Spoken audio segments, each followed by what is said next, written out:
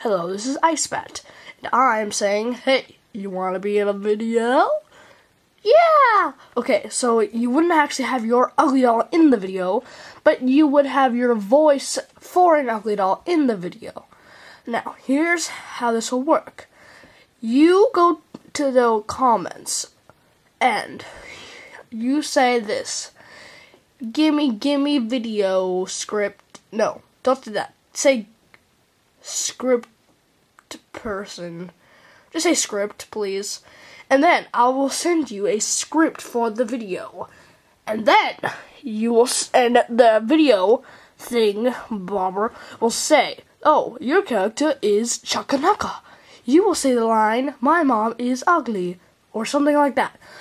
You might have more than one script, script or whatever, but whatever. So, you will post a video of your voice talking, blah blah blah blah blah, whatever kind of funny, weirdo voice you want.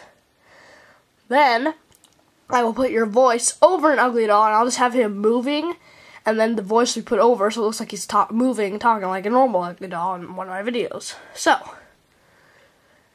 write script please in the comments down below, and you will get to be in a ugly doll video. Do, do, do, do, do.